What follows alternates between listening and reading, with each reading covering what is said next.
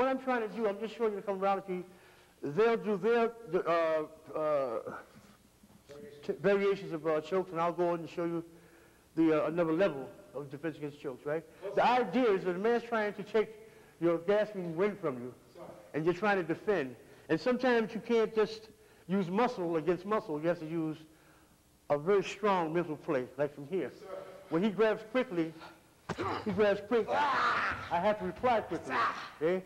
Just by holding the gi here. It don't look like much, but him and I, we know what's happening. We know the truth that it is to be. It don't seem like much. Put your hands on your head. Yeah. You understand? If I asked him to uh, command it to take himself out, he probably would leave here. Ah. But it ain't much we're doing. It's just that I'm holding, controlling from here. Locking up and holding. Thank you much. Grab again, choke. Under pressure, nerve endings, squeezing off, and cutting the air off from here. Look at the moment of understanding, right? Reaching in, turn them around. Look and hold. That's called strangulation, choking, and smothering at the same time. Look. Five seconds, he's out of here. Choking again. Make him pay for that. Hallelujah.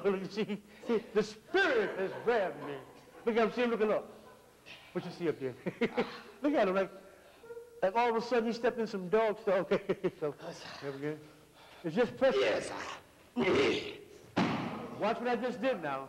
Watch this. You might not understand it, you might not see it again, but here. Forehead to the chest plate. Yes. Thank you, sir.